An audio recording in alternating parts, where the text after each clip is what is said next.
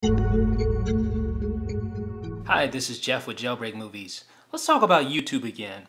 Now, when you're on the road with uh, your iPhone and you're out on the go and you're using your 3G connection and you want to watch a YouTube movie, chances are it's going to look like this.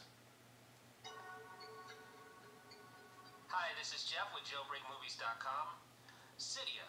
It's one of the That doesn't look too good at all. It's kind of grainy, kind of just, it just looks very bad um, the quality of that video isn't up to par because it's trying to uh, downsample the video, or it is downsampling the video since you're over a 3G connection to save data.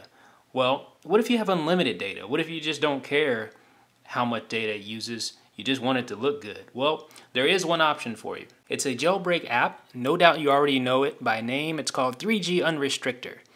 So all you need to do is apply 3G Unrestrictor to your YouTube app. So let's do that. Let's add the YouTube app to 3G, 3G Unrestrictor. And there we go. All right, and done.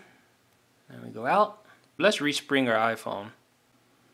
Now let's try watching our YouTube movie via 3G.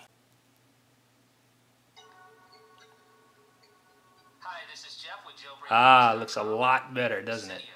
It's one of the reasons why we jailbreak. It looks on par with the uh, Wi-Fi connection, uh, Wi-Fi quality um, using 3G.